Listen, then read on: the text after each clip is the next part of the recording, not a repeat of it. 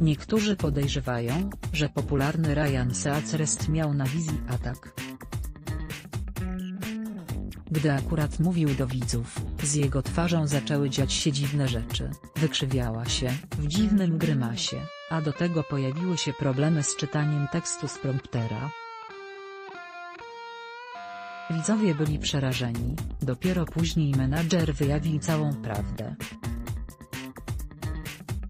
Amerykański gwiazdor miał problemy na wizji Amerykański prezenter znany, jest z radia, telewizji oraz prowadzenia prestiżowych wydarzeń. Relacjonował już rozdanie Oscarów i nagrody Grammy, a za prowadzenie American Idol był dwukrotnie nominowany do Emmy. Nagrodę tę otrzymał dopiero za produkcję programu o tematyce gastronomicznej w 2010 roku. Dlatego też dziwne zachowanie tak znanej osobistości szybko odbiło się głośnym echem w USA. Sam prezenter tego dnia zachowywał się kompletnie inaczej niż zwykle. Z reguły jest bardzo żywiołowy i zaangażowany w prowadzony program, ale tym razem wyglądał na chorego. Do tego, gdy mówił, zaczęło mu opadać lada oko.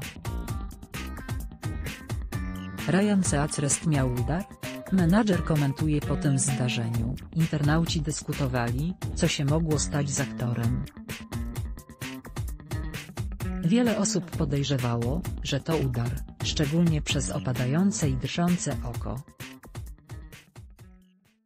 Wypowiedział się także patolog mowy, który spostrzegł, że kącik prawej strony ust również zaczął opadać, co w połączeniu z dezorientacją i niewyraźną wymową, wyglądało bardzo podejrzanie.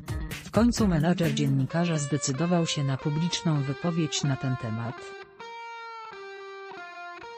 W rozmowie z CNN powiedział, że Ryan Seacrest nie doznał udaru na wizji. Jak stwierdził współpracownik aktora, dziwne zachowanie było spowodowane dużym przemęczeniem. Ostatnio wpadkę, ale zupełnie innego kalibru zaliczył inny znany prezenter. Źródło, Jastrząb Post Następny artykuł.